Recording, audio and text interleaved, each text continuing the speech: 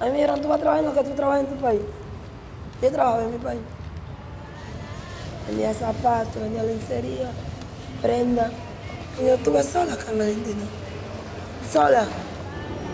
Pero yo sufría mucho. O sea, a mí me habían dicho que acá lo que se ganaba la plata era y yo no venía.